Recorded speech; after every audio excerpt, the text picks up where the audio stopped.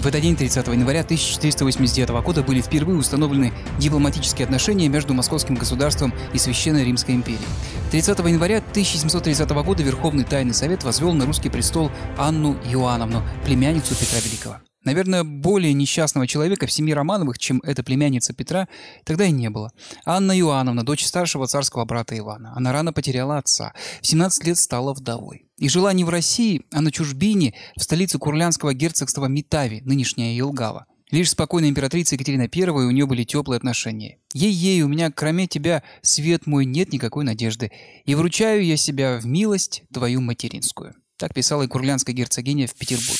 Именно поэтому, когда русский престол опустел, умерли царь Петр, его жена Екатерина, Петр II, главные вельможи России решили сами избрать нового монарха, и выбор их пал на затворницу из Курляндии. Члены Верховного Тайного Совета рассудили цинично, если выбрать эту одинокую несчастную женщину на трон, она будет их слушать. Князь Голицын без обиняков и заявил, «Ваша воля, кого изволите, только надобно и себе полегчить». «Как это себе полегчить?» – спросил канцлер Головкин.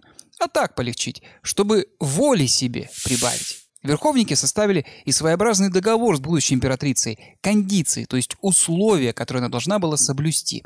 20 января делегация выехала в Метаву, 28-го Анна подписала кондиции. Но план Тайного Совета очень скоро развалился. Уже весной простое дворянство убедило императрицу кондиции разорвать. И те пункты Ее Величества при всем народе изволила приняв и задрать. Бедная петровская племянница вернула трону всю его власть. 30 января 1934 года стратостат ОСО «Авиахим 1» достиг рекордных 22 километров высоты.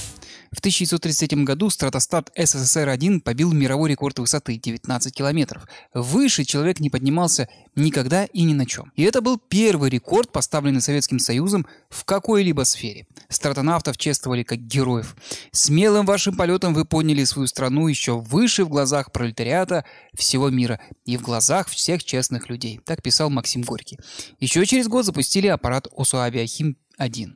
Экипаж из трех человек под руководством Павла Федосеенко нацелился на 20,5 километров. Помимо прочего, никто раньше не поднимался в стратосферу зимой, слишком опасно. И вот взлет. Федосеенко радостно рапортовал на Землю, что берет рекорд. В ответ шли сообщения с предложением не останавливаться, развивать успех. Но на борту уже были неполадки. Радио забарахлило, балласт израсходовали, шар стал терять газ. УСА-Авиахим-1 покорил 22 километра. Но потом связь пропала. Только радиолюбитель из Гомеля поймал последнее небесное сообщение. Стратостат попал в зону осадков, обледенел. Мы находимся в безвыходном положении. Облепленный льдом, падаем, ждем удара. Два моих товарища в скверном состоянии. Кончаю, скоро удар. Стратостат рухнул в Мордовии. Позже его пилотов посмертно наградят званием героев. Но от запусков стратостатов не отказались. Советскому Союзу нужны были новые рекорды. В этот день 30 января родились Иван Турчининов, он же Джон Безил Турчин. Русский офицер, участник Крымской войны, он оказался в США, где дослужился до звания генерала. Глеб Котельников, изобретатель парашюта. Исаак Дунаевский, композитор, автор музыки к знаменитым советским кинофильмам.